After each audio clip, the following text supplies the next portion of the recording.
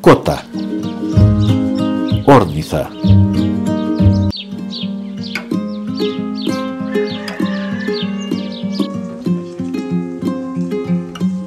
Η κότα είναι πτηνό, ζει κοντά στον άνθρωπο.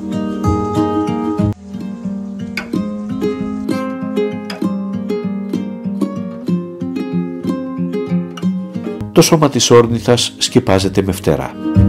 Έχει πόδια γυμνά, με μητερά νύχια, μητερό ράμφος και πρόλοβο.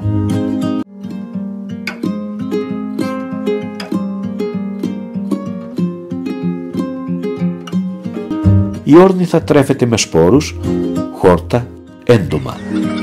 Είναι πανφάγο.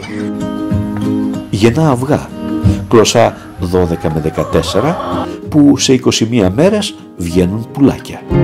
Τα κλωσόπουλα.